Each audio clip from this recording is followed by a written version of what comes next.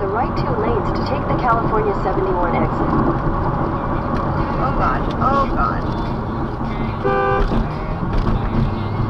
Jesus. Fucking genius.